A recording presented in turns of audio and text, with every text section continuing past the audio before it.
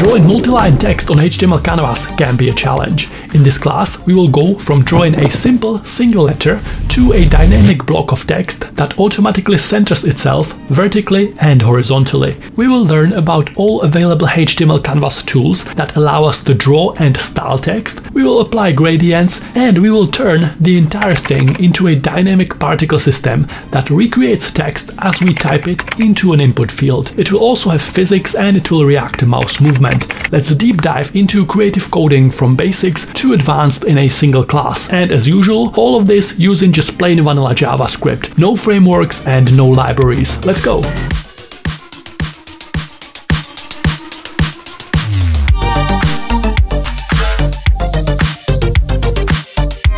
Was initially introduced by Apple back in 2004 to power their dashboard widgets. Canvas is a perfect tool to display graphs, animations, games and image compositions.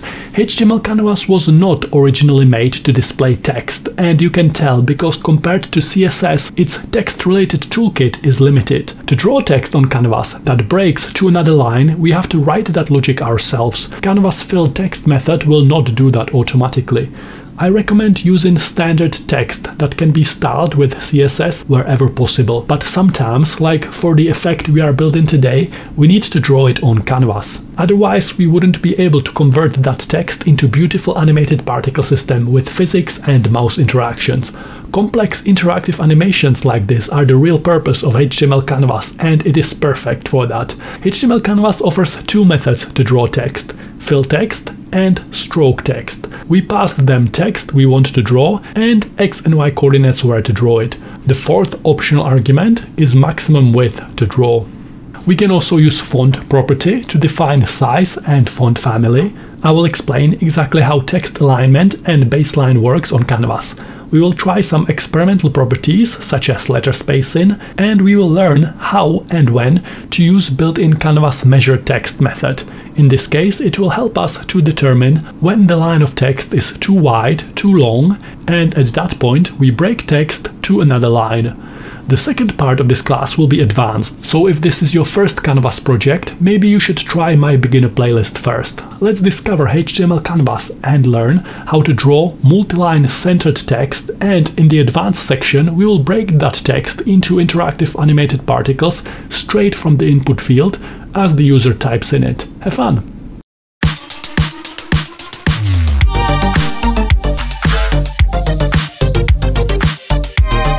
Here I'm styling my input element with CSS. Notice that the width is 100% and if I give it padding 10 pixels we get horizontal scroll bars.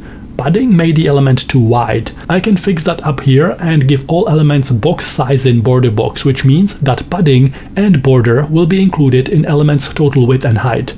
Look how it fixes the sizing issue, no more scroll bars. I also want some space around the element so I give it margin 10 pixels. As you can see, we have horizontal scroll bar again, because box sizing only affects padding but not margin. This is important to remember if you want to be a master of CSS. we can fix that using a completely different tool modern CSS offers. The calc function lets us perform calculations when specifying CSS property values. I want input field to be 100% of the browser window without that 10 pixel margin and since it's from both sides we have to do 20 pixels. We wrap that in calc function like this, and that's all. Easy. I want animations to play as user types in this field, so I will make sure this field is always on top and interactable by giving it z-index of 100. In Script.js, I wrap everything in load event listener. When canvas element and all other elements on our web page have loaded, we will set up our project custom canvas variable and we will point it towards canvas element with get element by id. ctx context where I take that canvas variable and I call get context on it. Passing it 2D to initialize a set of built-in 2D drawing methods we can now call from this ctx variable. Canvas element has two independent sizes that need to be synchronized, otherwise we get distorted shapes. When you set canvas size with just CSS, you are setting just the element size, but doing that will stretch the drawing surface size and it will distort your drawings. The right way to set canvas size is using canvas width like this. it will set both element size and drawing surface size to the same value. I want the canvas to cover the entire browser window horizontally and also vertically.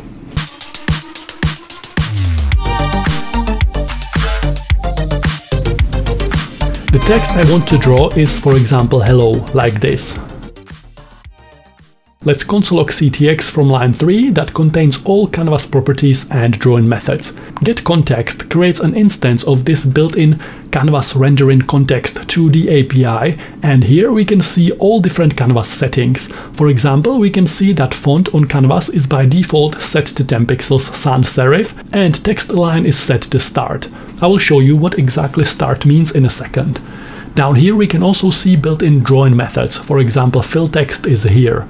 All these properties and methods sit on this ctx variable and we can call the methods and update these properties from there. To call this fillText method, I take ctx from line 3 dot fillText. Built-in fillText method expects at least three arguments, text we want to draw and x and y coordinates where to draw it. On canvas, when we draw images and rectangles, these x and y coordinates always determine the top left corner from where we start drawing that shape, but with text it's different. With text, these x and y coordinates determine axis of the text and we can control where the text sits in relation to that axis by using text align and text baseline canvas properties. I'm trying to draw the text from coordinates 50, 80. The reason I see nothing is because my canvas has a black background and if we have a look here, we can see that the default fill style on canvas is also black. We are drawing black text. I can access this fill style property and I have to do it before I call fill text because the file gets read and executed from top to bottom. I access this canvas setting, so-called canvas state, and I set fill style to white. Perfect we are drawing text. I can also use Canvas font property and I set it to 150 pixels Helvetica, like this. 80 pixels. I will draw my text at coordinates 100 from the left edge and 150 pixels from the top edge of canvas like this. The second built-in method that allows us to draw text on canvas is stroke text. It works exactly the same as fill text, but instead of filled text shape, it will give us text outlines. If I want to highlight my existing text, I need to pass it exactly the same values I passed to fill text. We can't see anything because the default stroke style is black. Stroke style determines the color of lines and outlines on canvas. I access it from ctx variable, as usual, and I override the default value by setting it to orange red. I will replace the text we are drawing here and here with this text variable from line 7. That way I can change the filled text and stroke text at the same time by changing this one variable. I can also give stroke text uh, different coordinates if I want. The outline is very thin. By default, line width is set to 1 pixel. Again, we can override that value. I can try 10 pixels. That's too thick. How about 3 pixels?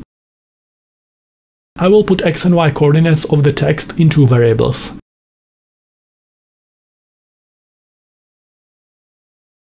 And I use these new variables here and here. Letter spacing property specifies the spacing between letters. As of making this video, it is still marked as experimental, so it might not work in some browsers. I'm just showing you what's possible. Let's delete it green fill style, blue stroke style, yellow and white. I can move text around. I want the axis that determines horizontal position of the text to be exactly in the middle of canvas, so canvas width from line 4 divided by 2.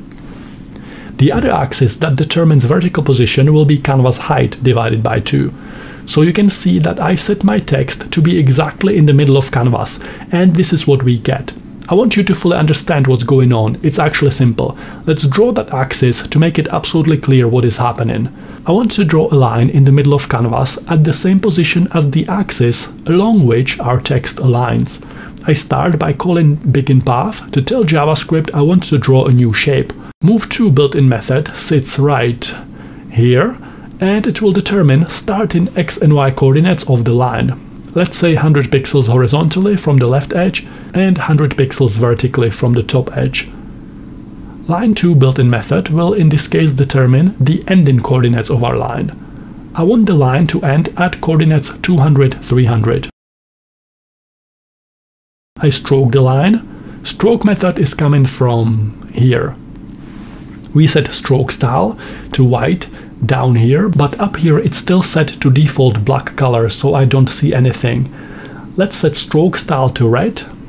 Move to method sets the starting coordinates of the line. Line to method determines where the line ends in this case. You can also call line to multiple times to draw shape made out of multiple lines. You can play with the values you pass to it as arguments to make it clear. I take line width declaration from down here and I move it up here so that it applies to everything. I want the line to start from the middle of canvas horizontally. Like this. And I want it to end in the middle of canvas at the bottom. So like this. Now we can actually see that axis along which our text aligns by default, because we draw that text in the middle of canvas horizontally here on line 15 we can change where the text sits in relation to this axis using built-in Canvas text align property. By default, this property is set to start. We can see that here. We can also set it to end. Look how that works when I make the word longer. I hope this makes it clear. End will make sure the right edge of the text touches the axis we define when drawing the text. In this case, we decided to put that axis in the middle of canvas, but of course we can put it anywhere we want by passing fill text or stroke text methods different values here. So values passed here determine the position of this axis. Text align property determines where the text sits horizontally in relation to that axis. I think it would make more sense if the default value was center, but we can always change that manually here like this. We can also use start or left, which will give us the same result. And if we use end or right, we will get text alignment like this. I copy this code block and I will draw another line. Let's make it green. And I want it to go from the middle here and all the way to the right. So like this, exactly in the middle of canvas. As you can see by default, the text is sitting directly on that line. It can probably depend on font, as some custom fonts can have different bounding box. But by default we can see font is sitting exactly on that line in the middle because we passed it canvas height divided by 2 as vertical position. We defined vertical axis and by default baseline of the font in relation to that axis will be this. Keep in mind that letters that have tail like Y or G would reach below this line. I set text align to center here. We can see that default vertical font alignment, text baseline, is alphabetical, so typical way the text is written, letters sitting on the line and tails of letters like lowercase g reaching below that line. Letters like lowercase y and g are called descenders. I can override that default value and I can say top which will make the top of the text touch the axis like this. So again, these values determine the axis and text baseline property dictates where the text will be positioned in relation to that axis. Middle positions the text exactly in the middle vertically, like this. If I set text baseline to bottom, it will position it like this, which might seem a bit weird, but look what happens when I use lowercase y, a descender. Bottom positions the text in a way that bottom of descenders touches the axis. Look at the difference between this and alphabetical. I think this makes it clear. Hanging is the same as top and ideographic is the same as bottom. So we have two methods to draw text on canvas, fill text and stroke text. Both of them work exactly the same. One gives us filled text, one gives us just the outline. It's very important to understand that the coordinates we pass to these methods determine position of invisible vertical and horizontal axis along which the text will be aligned depending on the value of text align for horizontal position and text baseline for vertical position.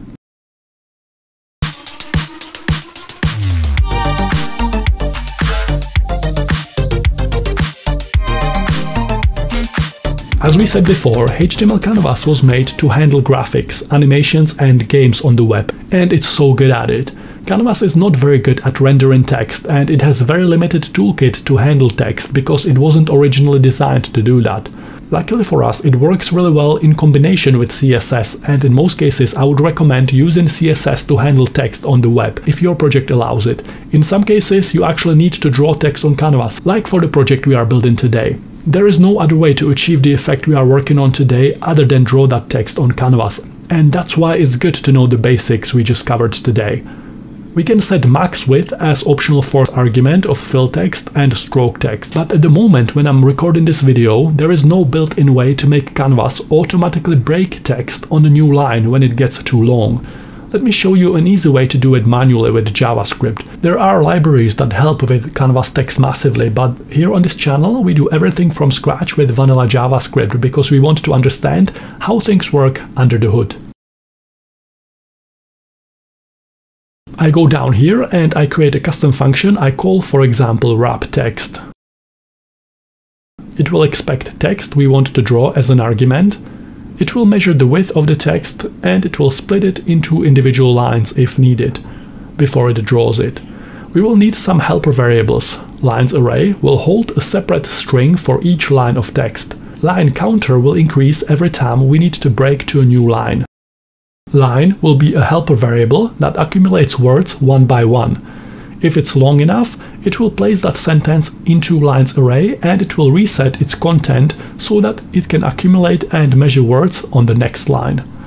I'm going to make a choice that I only want to break to a new line when there is a space, when one word ends and another begins, because splitting words by syllables manually with code can become complicated. I will never split a word in half, I will only break the line when there is a space between two words. So I need a temporary variable I call for example words, which will take the text passed as an argument, however long that text might be, and it will split it into individual strings whenever there is a space character. So I'm taking a string of text, I'm using this argument we call a pattern as a character to look for, in our case a space character, and whenever space occurs in this long text, we split the string into individual substrings, individual words. Split method returns an array of individual words.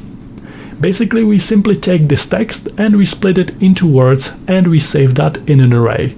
I create a for loop that will cycle over the words array one by one. Like this. Every time we enter this for loop, we create a temporary variable that will take the current value of line from line 36, which will start as an empty string at first it will add on that word we are cycling over right now and it will add space behind it. We want to measure the width of each word, so I will console log ctx.measureText and I pass it test line. We will look at measure text in a second. After that, I will fill text and I want to draw test line, so each word one by one and all of them at the same coordinates in the middle of canvas. So at first, all the words will be drawn on top of one another. I need to delete fill text and stroke text here first. I will also delete this text and x and y positions we used there. We don't need this anymore. I take this console log and I put it here. Okay, so we want to call wrap text method. I can see it expects one argument, a text we want to draw. That text can be one letter, one word, or a whole sentence. I start by drawing just simple AAA like this. Nothing happens, so first we always check browser console. I can see we have a problem on line 36. The console error says that test line variable from line 36 is not defined. And it's because I am defining test line here inside this for loop as a let variable. It only exists in the scope of this for loop between this opening and this closing bracket, so I fix it by putting it in here. Perfect, we are drawing AAA. Here we are using built-in measure text method and we are passing it test line, which is just this AAA text at the moment. Built-in measure text method returns text metrics object. Uh, I can see it here in the console. It gives us a lot of data. All we really care about today is this width property, so I can console log it like this. Dot width. I can see that this text is around 155 pixels wide. If I type BBB, that second word is exactly the same width. Interesting. CCC is around 142 pixels wide. You can see that it's drawing words on top of each other. This is expected as we are splitting this text into individual words and we are drawing each word at the same coordinates. In the console I can see measurement for hello including the comma, how, are, you. So far everything works really well. If I want to draw each word on a separate line, that is also easy. I just need to make vertical position of the text dynamic. It will account for index variable from the for loop and multiply it times font size, so 80 pixels. Nice. I can reduce the line height here if I want. We are drawing one word per line. I don't really want that. I want to be drawing text until we reach certain width and only then I want to break to another line. I create a constant variable called max text width. Let's say I want text to be maximum half of the width of canvas like this. This is the bit of logic that can be a bit hard for beginners, but don't worry, it's not that difficult. Let's write it, and at the end I will recap the logic loop we have here for clarity. Inside the for loop, as we cycle through words one by one, I say if the width of the test line, I delete this, if it is more than max text width, line from line 32 will be that word plus space. Also, we are going to increase line counter by 1. Else, meaning test line is not long enough yet, we set line to test line, increasing line by this new word we are cycling over right now.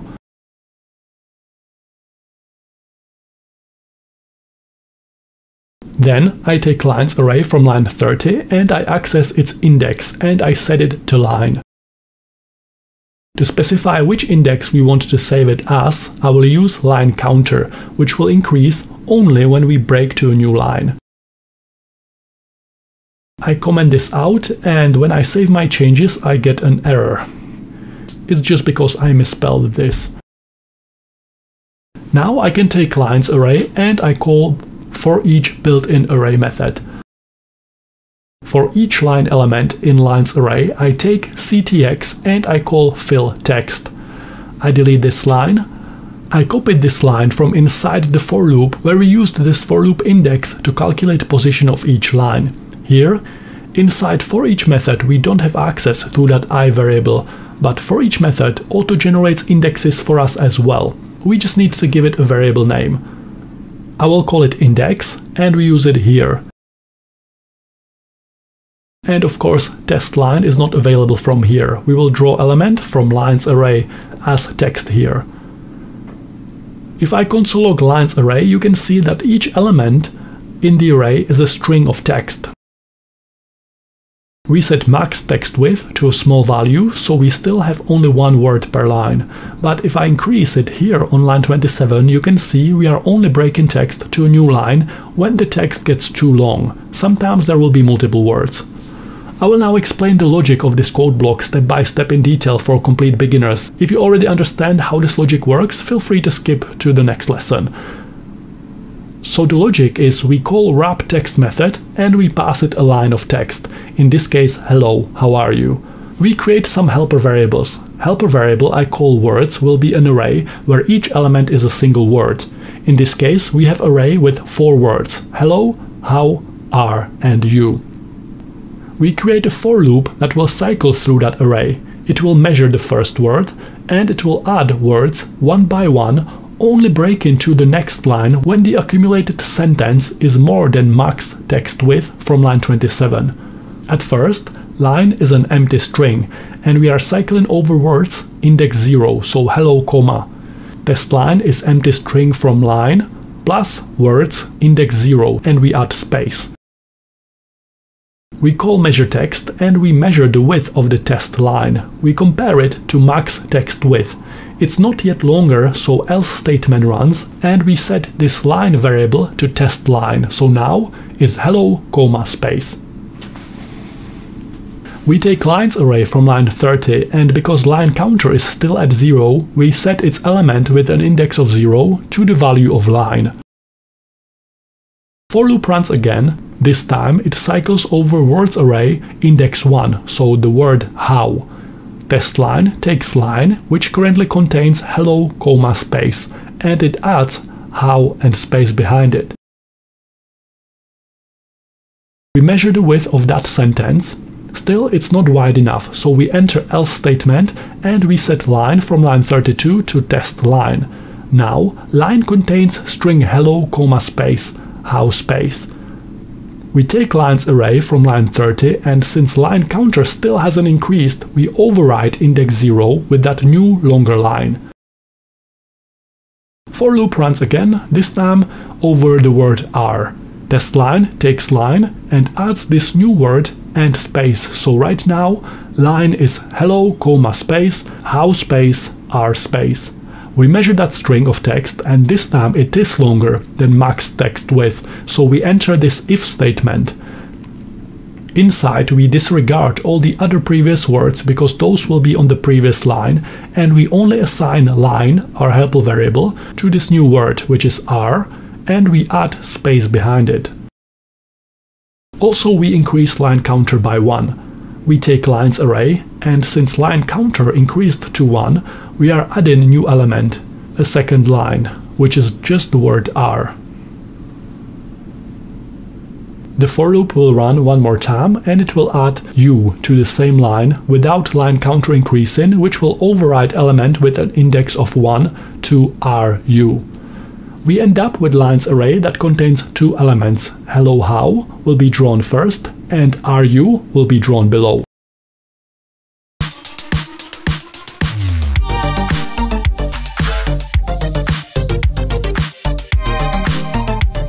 If I make the input text longer, you can see that it correctly breaks lines, but ideally we also want the entire text to move upwards so that it's centered vertically.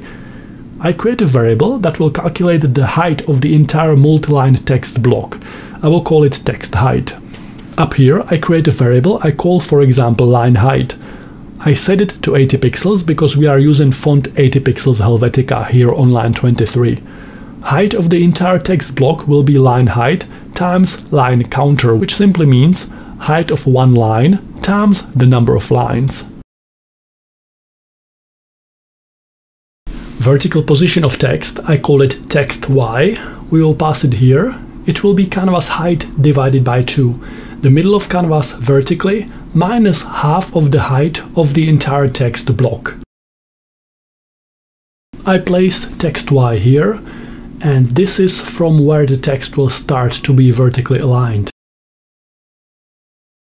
I also want each line of text on a separate row as before, so I add index times line height, as index increases for each line of text. They are placed under each other. There are many tweaks and improvements that can be done here, but this is how you can do multi-line centered text on HTML canvas.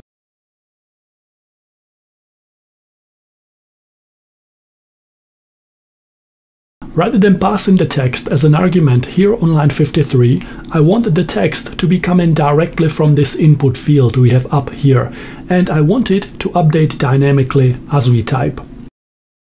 I go up here where I declare my variables and I will call it text input spelled like this. Document.getElementById, by ID, I gave it ID of text input, so I use it here.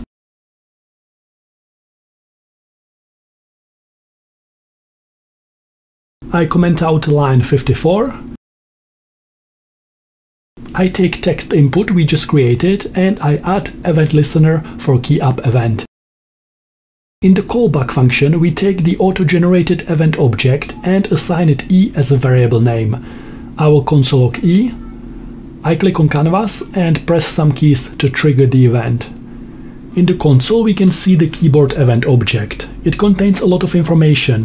What we care about today is this target property and inside we look for value here. You can see it contains AAA, which is the value we typed into the input field. I console log e.target.value and as I type, we are console logging these values. I copy this line and I put it inside event listener. Instead of this hard-coded text, I will use a dynamic e.target.value like this. I delete the console log and also this line. Nice, it works. It looks like this because we see old paint. We need to delete all canvas drawings every time we update the text. I call clear rectangle from 00 to canvas width, canvas height directly from event listener here because I only want to clear canvas when the text changes. Nice, we have a multi-line dynamic text drawn directly on HTML canvas element.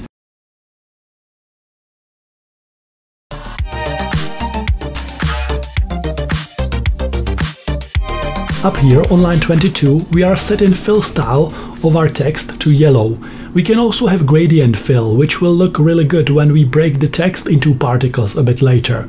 I create a constant variable I call for example gradient. I set it equal to ctx from line 4 and from there I call built-in create linear gradient method. This method expects four arguments x and y of the start point of the line and x and y of the endpoint for the line. Imaginary line will be drawn between these two sets of coordinates and gradient will be drawn along this line. So I want gradient to start from the top left corner, coordinate 0, 0, and I want it to go towards the end at the bottom right corner, coordinates canvas width, canvas height. We created a gradient and we set its direction. Now we need to assign it colors. I do it by taking this new gradient variable we just created and I call built-in add color stop method. This method adds a new color stop to a given canvas gradient. It expects two arguments, offset and color. Offset can be any number between 0 and 1. The color passed as the second argument will be position at that offset. Gradient starts from 0, but I will use first offset of 0.3 to push it closer towards the middle of canvas, because the text will be more towards the middle. So anything between the beginning and 30% of the gradient will be red color. The second color stop will be exactly in the middle at 0.5 offset. And the third will be at 0.7. I will use maybe orange and yellow. To actually apply this gradient to text or shapes we draw on canvas, I take this variable from line 22 and I set it as fill style. Now as I type new text, the gradient is applied. Perfect. You can change any color you want and you can add more color stops. For now I will use red, fuchsia and purple. If you want to experiment, there is also create radial gradient method. You can use it here instead. We covered the basics of HTML canvas text and we added many new tools and techniques into our front-end web developer coding toolkit.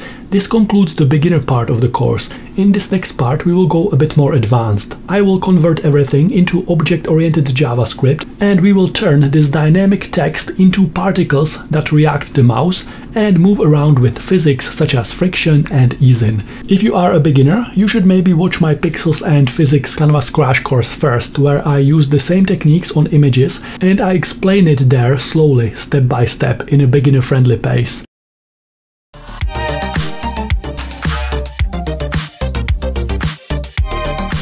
I comment out all this code except for the closing brackets of load event listener. All we have here is the basic canvas setup. I want to convert all this code into objects and classes. We will have a class called particle. This will be a blueprint for individual particle objects, individual animated pixels that, when combined, will make up the shapes of letters as we type them on canvas. They will have draw and update methods, Effect will be the main core of this code base. It will have a constructor. It will have a wrap text method that will take a long line of text as an argument. As we type it into the input field, it will turn it into multi-line centered text and it will draw it on canvas. We will have convert to particles method that will scan canvas for pixel data and it will use our custom particle class from line 9 to turn those text pixels into interactive animated particle objects. Render method will draw and update all of those particles. Render needs to be called over and over to actually get animation, so I will create a custom function I call animate. Up here we have some global variables that will be needed inside our objects. Rather than pulling those directly from the outside, I will pass them as arguments at the point when we create the effect class. So context, canvas width and canvas height are expected as arguments. And inside we convert them into class properties like this. I usually just pass context as an argument to draw method, but in this case we will need a reference to context inside wrap text, convert to particles, and also in render method, so I might as well make it into a class property this time. Inside our custom wrap text method that expects text from the input field as an argument, we take this.context from line 23, which we will point towards ctx from line 4 in a second, and we call built-in fill text method. We know that fill text expects text to draw and x and y for the axis in relation to which the text will be positioned. Horizontal position of that axis, text x, will be exactly in the middle of the page, so canvas width divided by 2. Same for the vertical y-axis, middle vertically. And I use these values inside fill text here. On line 41 I create a custom variable I call for example effect and I set it to new effect. The new keyword will create an instance of effect class by triggering its constructor. I can see that the constructor expects three arguments, so I pass it ctx from line 4, canvas width from line 5, and canvas height from line 6, like this. If I console log effect, I can see that it was created and it has values in all properties. If you see undefined or none, not a number, in some of these values, you need to check the place where that value is calculated in your code and you need to fix that issue. I don't see any undefined, so all is good here. I take effect variable and I call my wrap text method we defined on line 30. It expects text as an argument, so I pass it hello.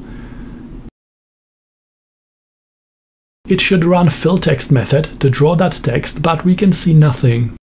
I'm console logging CTX so I can see my canvas context object and inside I can see that default fill style is black.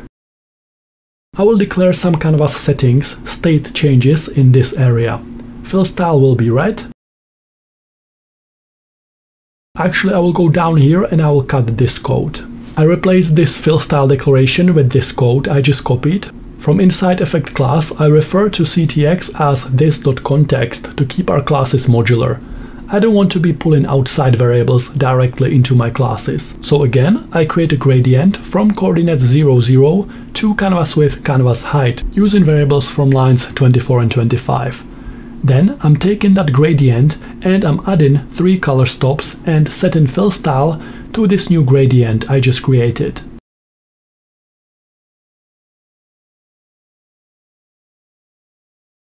Font will be 50 pixels Helvetica, I could also declare font size as a separate property because we might want to declare line height from this value a bit later. And down here I take this.font size and I concatenate my font string, like this. Perfect. As we explained before, text align is by default set to start, which gives us this horizontal alignment, and text baseline is by default set to alphabetic. I go down here and I cut this code I wrote before. I paste it up here. CTX needs to be this dot context and set in text align to center and text baseline to middle will reposition the text in relation to those invisible axes we spoke about before. Let's see what else we did before. I can delete this line, we already did that. I can delete this code that was drawing the axis for us. I will need line width and stroke style, so I take this I paste it up here, this dot context on both again. Now I can also stroke text, so let's do it. Bigger font size. I take max text width and line height, and those will be class properties on my main effect class. So I replace const with this dot and I use this dot canvas width here. Let's move line height up here, this dot, and it will be relative to font size. This way when I change font size, line height will automatically change as well. I will also need this logic that breaks text into individual lines if it's too long. I will do it here. Temporary helper variable called lines array will hold one string for each line of text. Words will take text passed as an argument on line 32 and it will split it wherever there is a space character. Individual words will be held in this array. Line counter will start at 0. Line will start as an empty string. For loop to cycle through words array one by one.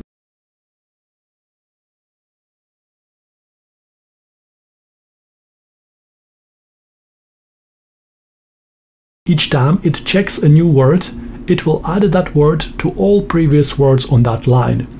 Held in line variable from line 50. It will add that new word we are checking and it will add space behind it.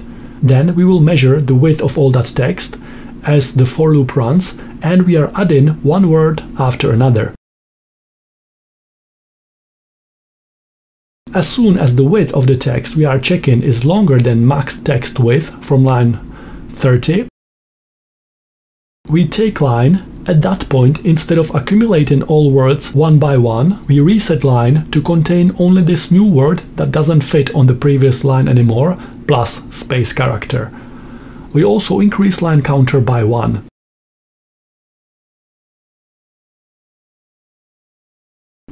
Else, meaning text line is not yet longer than max text width, we can keep accumulating words inside line variable until they are long enough. No matter which one of these statements runs, we always take lines array. As index we pass it line counter to determine which element, which line of text we are overriding, and we set element in the array at that position to line. As long as text is not too wide, we are adding word by word to line and we keep overriding position 0 in lines array with that ever-growing line of text.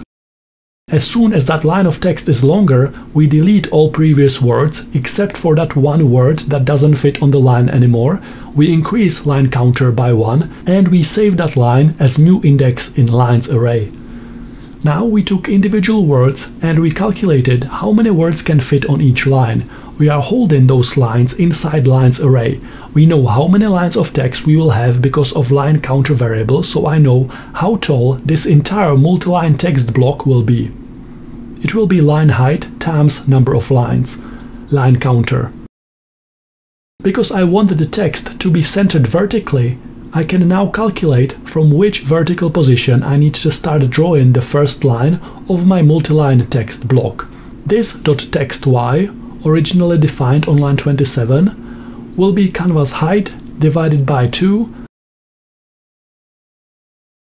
minus half of the height of the text block, like this. Now I can take lines array, I will use for each array method on it. I call each element in the array L, and we will also need this auto-generated index that for each method gives us. I cut these two lines of code and I paste them inside here. Text we want to draw is element in lines array. It holds individual lines as string of text. If I make the text too long, it starts breaking to a new line and the start and top line moves upwards. Perfect. Here I just use the index and I multiply times line height to separate lines, like this.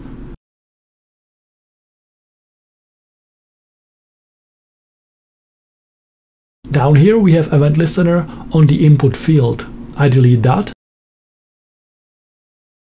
Up here I take text input variable and I turn it into class property inside effect class constructor.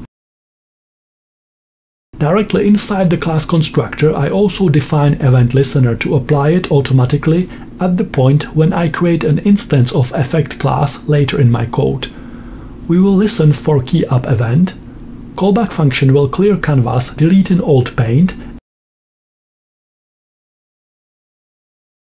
and then we call wrap text defined on line 36 and we pass it e.target.value, which is whatever was typed inside the text input field. We get an error on line 32. We are calling clear rectangle on something that is undefined. Why is this .context undefined here? First of all, we need the variable for the event here. And when placing event listener inside a class constructor, we need to make sure we bind this keyword to make sure that the callback function on the event listener doesn't forget where it was originally defined. I can simply fix that by using an ES6 arrow function syntax. One of the special features of these functions is that they inherit this from the parent scope automatically, which will fix our problem.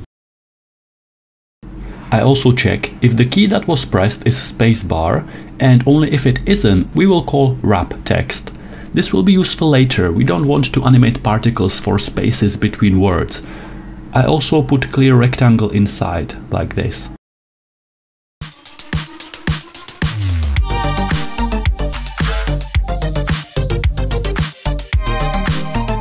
We are drawing text on HTML canvas directly from an input field and that text is automatically wrapping and centering itself. And we wrote all of that as an object-oriented codebase with vanilla JavaScript. Well done! If you are a beginner, you should be really proud of yourself. We also now know how to use canvas gradients and how to outline and how to gain complete control over text drawn on HTML canvas element. Now it's time to turn this into animated interactive particles. This next part will be very advanced. If you are a beginner, I have a class dedicated to this technique where I use it on images. In there I go much slower at a beginner-friendly pace. I will need some helper properties to create this particle effect. This dot particles will hold all particle objects Gap will determine width and height of each individual pixel square and also at which resolution we will be scanning canvas for pixel data. Anything smaller than 3 times 3 pixels will probably give you performance issues because it will result in too many particles. I will show you when we have the full animation. I will store mouse data here. I will need a radius around the mouse. Particles within that radius area will move away from the mouse. I will set it to 20,000 pixels, but it will actually be much less. I need to use a large value here for optimization reason, because I won't be using performance expensive square root when calculating distance. I'll explain that later. Mouse X and Y will also be stored here. Same as we did on line 31 with text input field, I create an event listener for mouse move event. We know that I can't use a regular function here, it needs to be an arrow function to make sure this keyword is not undefined. Whenever mouse move event fires, I set mouse x from line 42 to x coordinate of the mouse event, and I do the same for vertical y position. To check if it works, I console log this.mouse.x and this.mouse.y. I want the console log to run every time a mouse moves, so it has to be in here. Perfect, we are capturing mouse coordinates and we are saving them inside our class property. Here we have a custom method that takes a value from input field and it draws it on canvas and here inside convert to particles method we then turn that styled text into particles. I want this method to run every time we type into that input field and canvas text updates. Since that will reposition all the letters to keep them centered, I will always have to delete all particles, so I assign this to an empty array.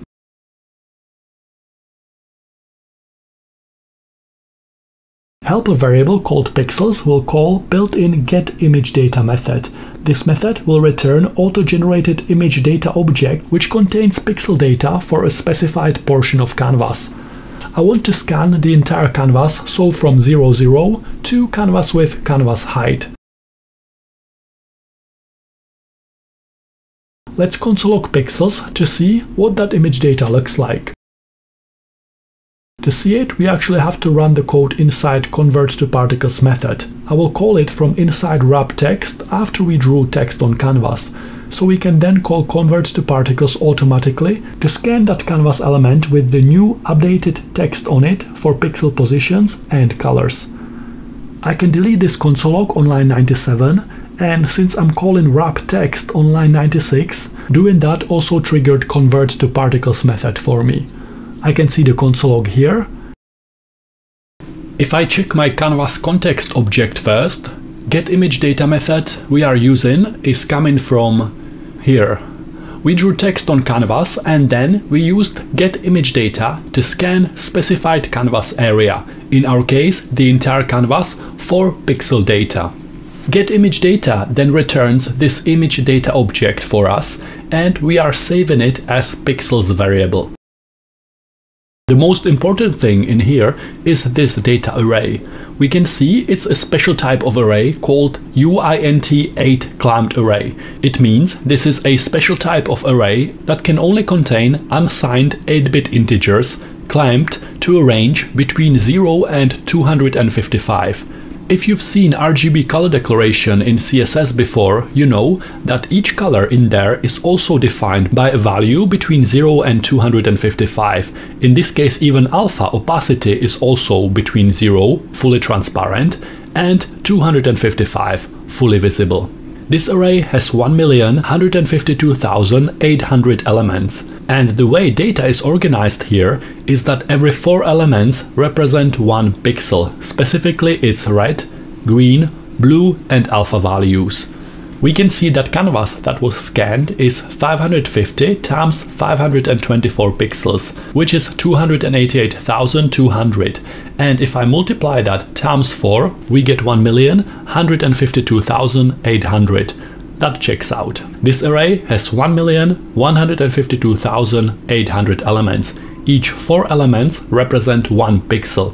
Our canvas has 288,200 pixels. We scanned the entire canvas. All this black background is actually transparent. The black color is behind it. That's why we have all these zeros. Zero red, zero green, zero blue and zero alpha. Zero opacity, it's a black transparent pixel.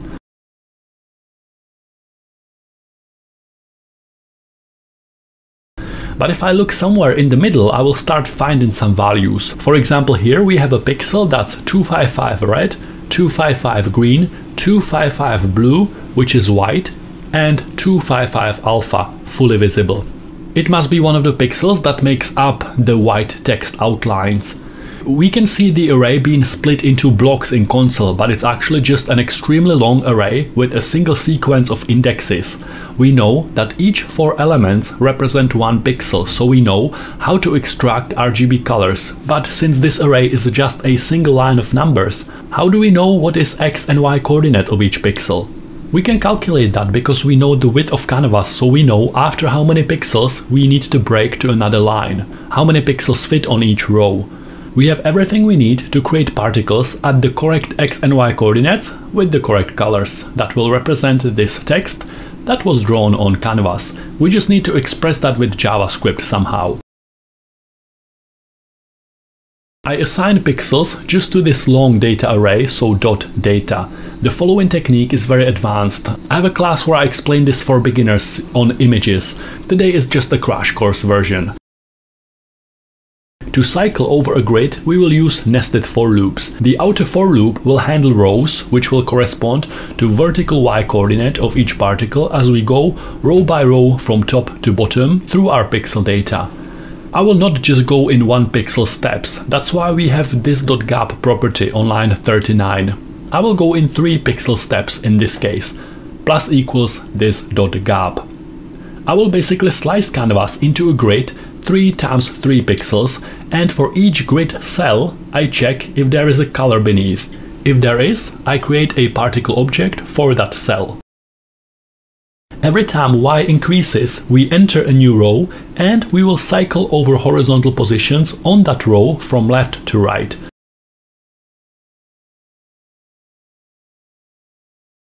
So we are going over the entire canvas row by row from top to bottom, from left to right like this. These two nested for loops will cycle over the entire canvas element. So what do we do every time we jump to a new cell in this grid? First, we need to determine where we are in that pixel array, at which index. Pixel array is one long line of numbers and here we are cycling through canvas row by row. As we cycle through the grid cells, I always need to be aware what is the corresponding index in pixels array. I know that y increases every time we cycled through a row of cells. Let's say we are somewhere in the middle now. The current index in the array is the current y value times the width of canvas, which will give us something like this. This visual I'm showing you has big cells. Imagine it works like this, but on 3 times 3 pixel scale, so the actual cells are much smaller. So let's say y is currently 2. 2 times canvas width to account for this area. Plus, we are somewhere in the middle of a new row. We also need to account for x. For example, x is 3. And we know that each single pixel is represented by 4 elements in the array. Red, green, blue and alpha value, so I multiplied times 4. This single calculation will match x and y position in a grid with an index in that long array. This calculation is extremely complicated if this is the first time you are seeing it, so don't worry about it too much at this stage. We are JavaScript developers, not math experts. It will start making more sense if you decide to use this technique more often, but you don't really need to understand it today. I know alpha, opacity, is every fourth value in the array, so pixels array with the current index plus 3. Let's say we are on this index, red, green, blue, alpha, index plus 3.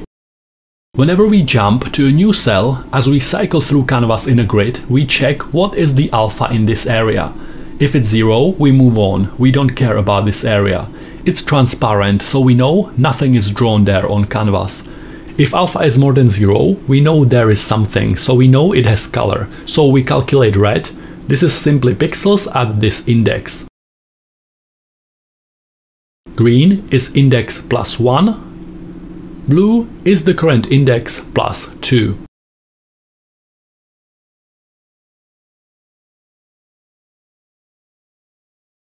Now I can concatenate RGB string from that.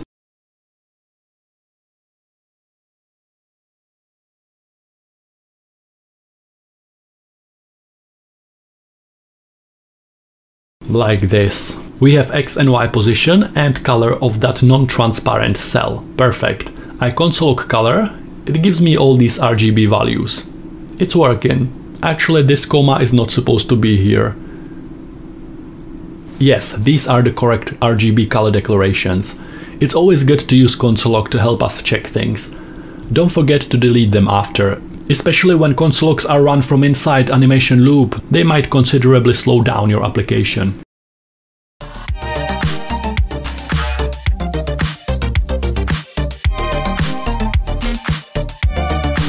We converted pixel data into X, Y and color. We just need a particle class so that we can take this data and draw particles at these positions.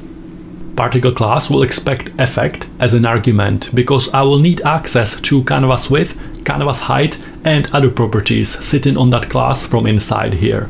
I convert it into a class property. This particle class will expect arguments for x, y and color we calculated after scanning canvas for pixel data. X is coming from here, Y from here, and color from here. We also convert these into class properties, like this. I actually want to be able to set where the particles first start and I want them to flow from there to their correct x and y coordinates so I will have separate origin x and origin y. These will actually remember particles position in the overall text shape and start in X will be a random value between 0 and canvas width. This will make them animate from that random position to where they are supposed to be. I access canvas width property through this dot effect. It's coming from line 28 here.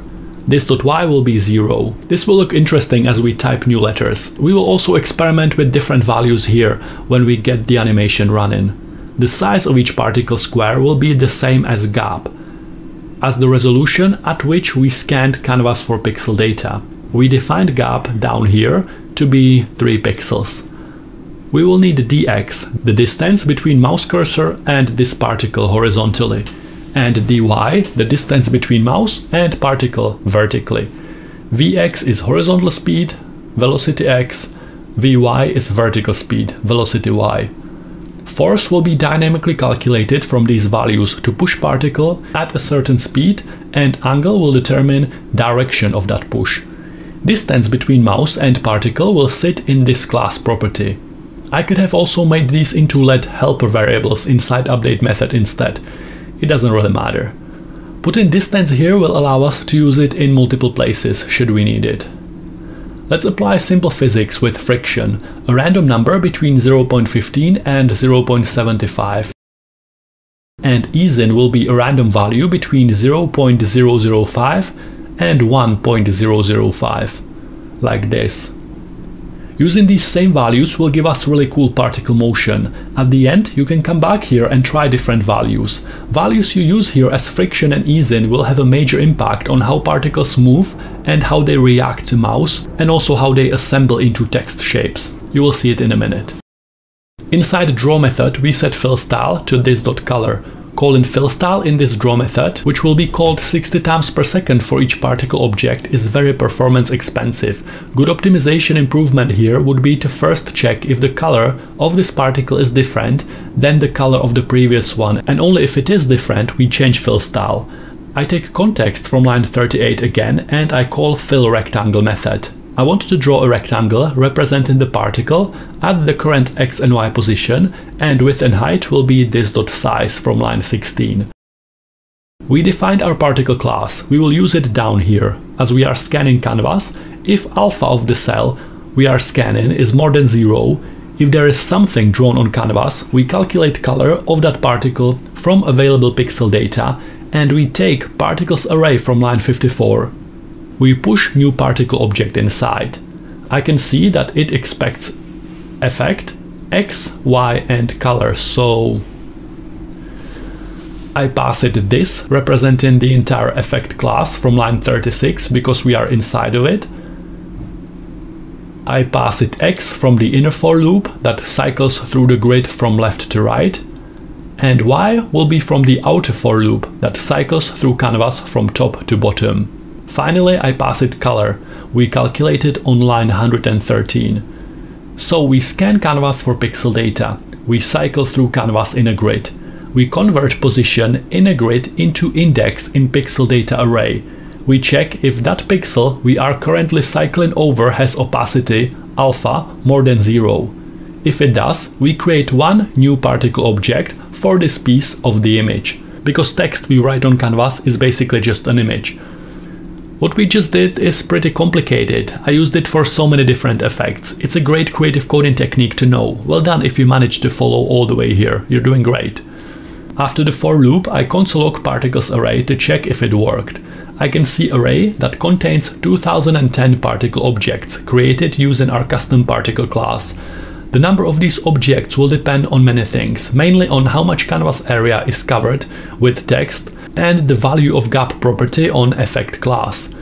I check one of the particle objects. I want to make sure all the properties have values and nothing is undefined or none, not a number. It would indicate there is a problem somewhere. It looks alright in this case. It's a good practice to always check your objects when you create them in console to make sure everything is fine.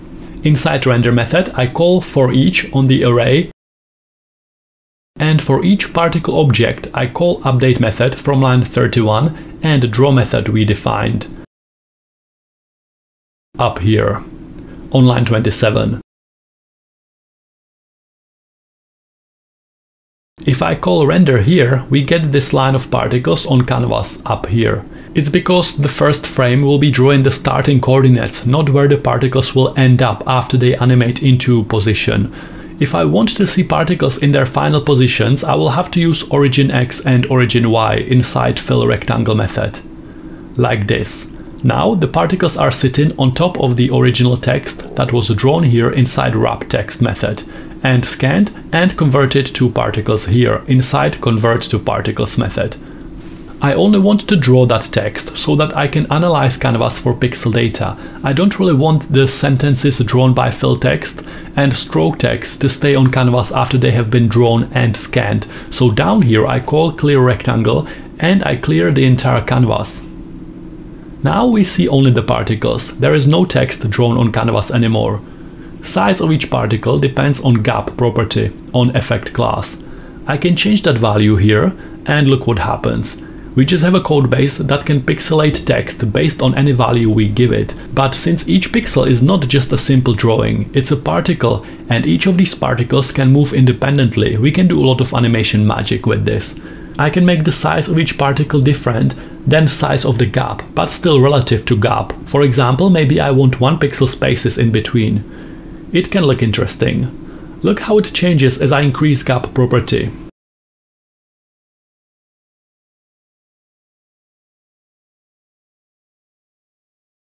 I go up to line 16 and I put it back. I want particles to always want to return to their origin positions, so every animation frame, this dot x plus equals the difference between origin x position, where the particle is supposed to be sitting in the overall shape, and its current x position. Inside fill rectangle, I will use this dot x and this dot y again. To see any animation, I need to call draw and update on each particle over and over, so I need this render method from line 120 to be called from inside animation loop.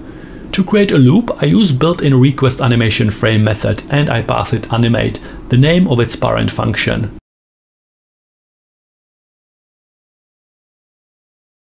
We can delete all this. Be careful not to delete the closing brackets. You will know you did something wrong if you get a console error.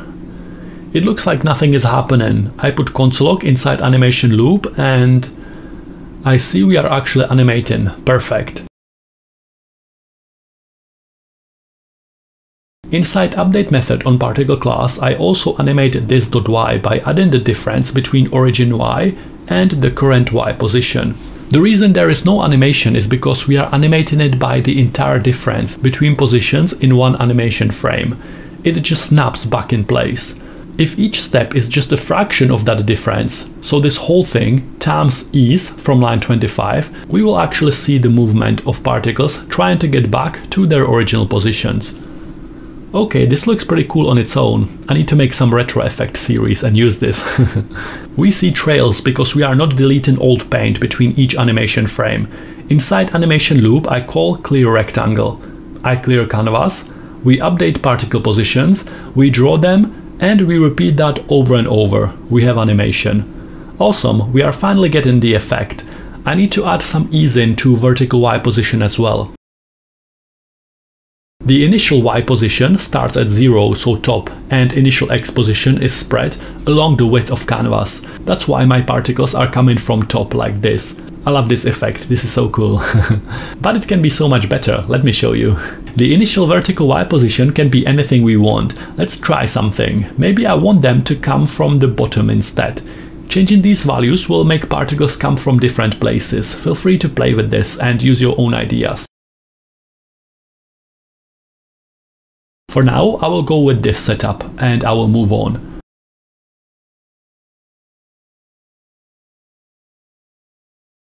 When I type into the input field, the text is assembling itself. Maybe I could give it some kind of delay. There are many things I can do here. Larger font size,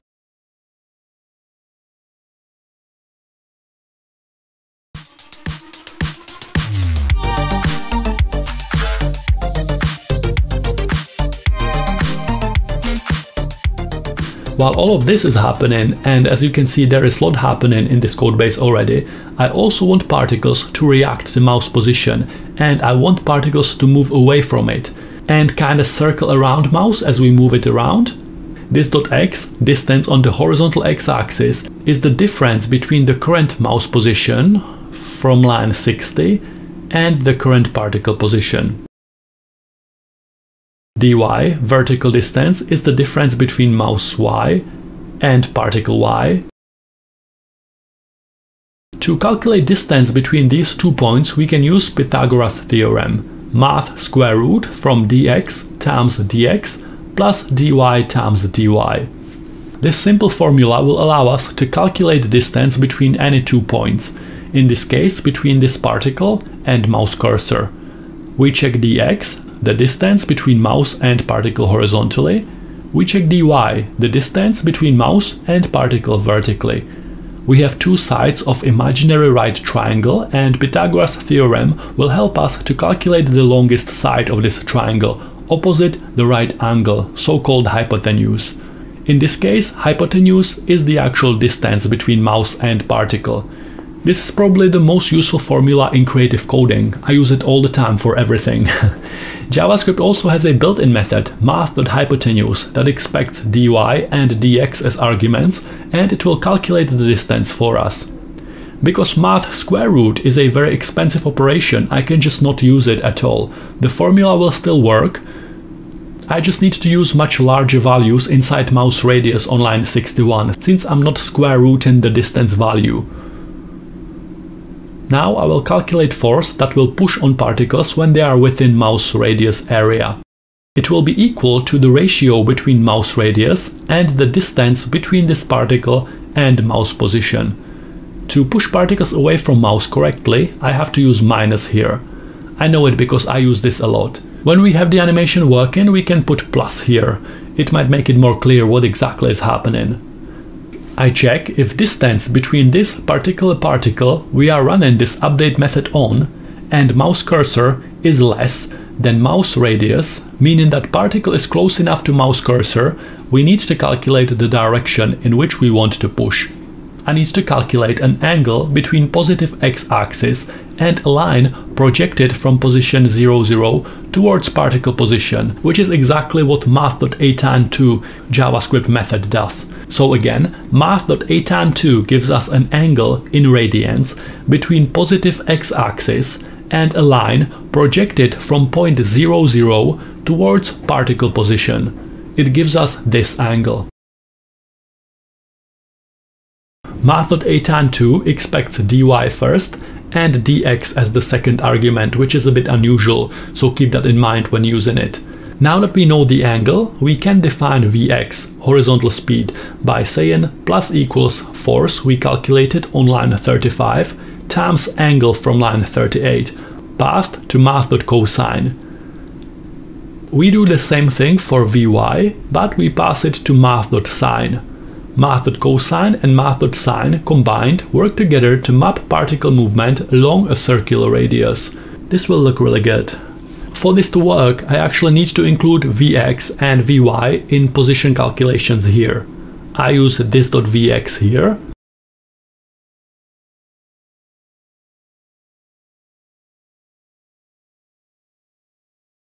And I do times equals friction from line 24. This will gradually slow down particle speed for us. Let's see what we have. Nice, this is really cool. I do the same for vertical Y position. I notice I misspelled this.vy here on line 20. Easy fix. Now I can multiply this by friction as well to make particles return to their original positions. What do you think about this effect? You can change how the particles behave around the mouse by changing values we use as friction on line 24 and ease on line 25. If you have any performance issues at this point, increasing this dot gap to a larger value will massively reduce the number of calculations needed to run this effect. Maybe try to find the right balance between particle size and performance. Also it depends how long the text is. If it's just one letter, it will run much faster than if it's five words. There are many optimization algorithms I can use here to make it run smoothly with any particle size, but that's beyond the scope of this class. I'm trying to keep this beginner friendly. We can try different color gradients if we want to.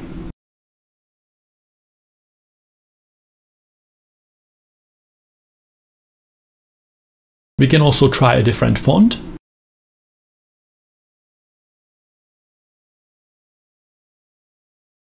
We can try experimental letter spacing property again.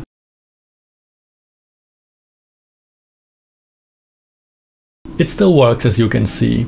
You can edit the text we draw on canvas in any way you want. This codebase is very flexible. Different fonts, especially custom ones, can have different baseline and height. Maybe we want the ability to manually adjust vertical text position.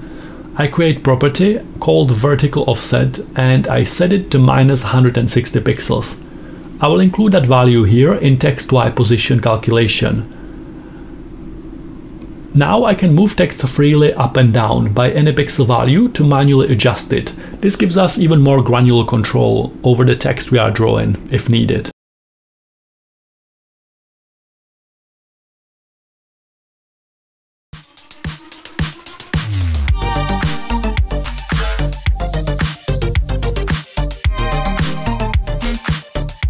I'm passing hard-coded text that says hello how are you here.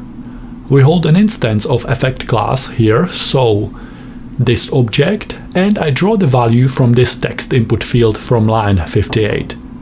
I access it by taking the instance of effect class, then its text input property from line 58, and I access its value, which is by default set to type something here.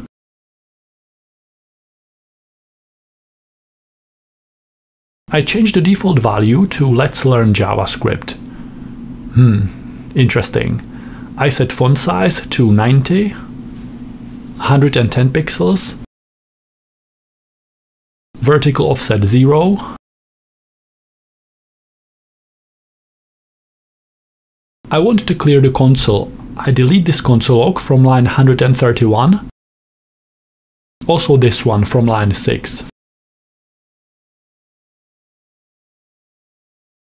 As I type into the field, the text updates. Perfect. In console I'm getting a message that says multiple readback operations using getImageData are faster with will read frequently attribute set to true. We are using getImageData to read pixel data from Canvas element, which can be a performance-intensive operation. One of the more recent Canvas features is the option to mark Canvas for reading, which will automatically optimize the Canvas for us under the hood, and in theory it should improve performance. So where do we put this will read frequently attribute? Some of you might not know that getContext method we are using on line 3 to initialize canvas rendering context can also accept optional second argument called context attributes. So here I'm passing it context type, in this case 2D, and context attributes will come in brackets like this. We can include multiple attributes here if we want to. Some of them help with performance optimization. Today we will just use will read frequently and we set it to true. This will force the use of a software accelerated 2D canvas instead of hardware accelerated, and it can save memory when we call getImageData frequently, when we are reading and analyzing pixels from this canvas frequently. As I type, the particle text updates and we get no console warning anymore. It worked.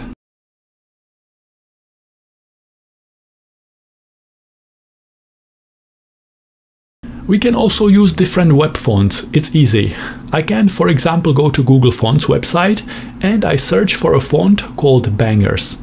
I click here to add it to my selected font families and then I view it up here. I copy these three link tags and I put them inside the document header before my custom style sheet. In script.js on line 91 I set canvas font property to this new font, like this. This should already work in most cases. Sometimes we can get default font on the first page load and only get this special font as we start typing. I'm not going to explain how to preload web fonts in this class, but what can help is applying that font with CSS to force it to load.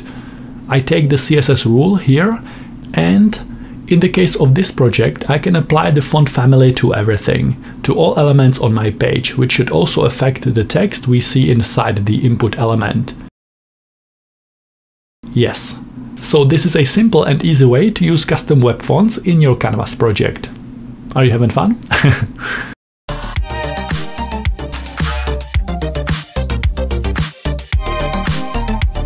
As with every Canvas project, Canvas doesn't automatically resize when we change browser window size. I need to reload the entire page to size it correctly. If I want my effect to be responsive, we need to write some additional logic. With JavaScript, we can listen for window resize event. It will trigger every time the browser window changes size. When the resize event fires, first I want to set canvas width from line 6 and canvas height from line 7 to the new width and height of the browser window, like this. We also have properties that keep track of width and height here inside the effect class. We need to set them to the new updated values. I create a public method on my effect class. I will call it resize. It will expect the new width and height as arguments, then we can update properties from line 52 and 53 with these new updated values, like this. Then we also need to update TextX and TextY properties to make sure they are in the middle of the new resized area. I just put them here like this. One more property that depends on width is this one. Max text width will also have to be recalculated every time the resize event is triggered. So we have a custom class method that will take new width and height as arguments and it will set properties of our object to these new values. I want this method to run every time resize event fires and I pass it the new resized canvas width as width and the new resized height as height, like this. It doesn't work yet, so I check if resize event is triggering by putting console log in there. Yes, the console log is working. Every time I resize, I also have to call wrap text to reposition that text we write on canvas, which will also automatically call convert to particles. So I call effect.wrapText and I pass it the current value of text input field. It's working and we can see that the text correctly recalculated its position and all the words are on a single line. If I make the window smaller, it will put the word JavaScript on the second line. If I make my browser window even smaller, it will break into three lines. This is working really well, nice.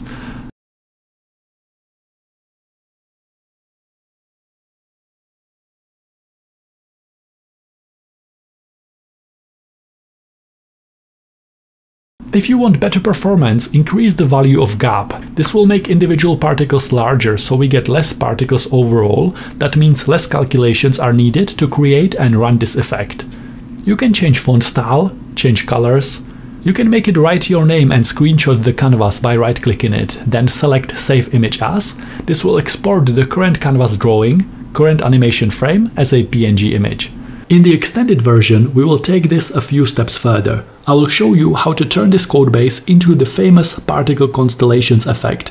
I will include the full source code, and because as usual I made hundreds of different versions of this effect, I will probably include some other additional codebases with my experiments for you to play with, like this one or this one. Well done if you managed to follow all the way here. You are becoming very good with JavaScript. As we all know, with great power comes great responsibility. Use your coding superpowers responsibly. the extended version is linked in the video description. I'll see you later.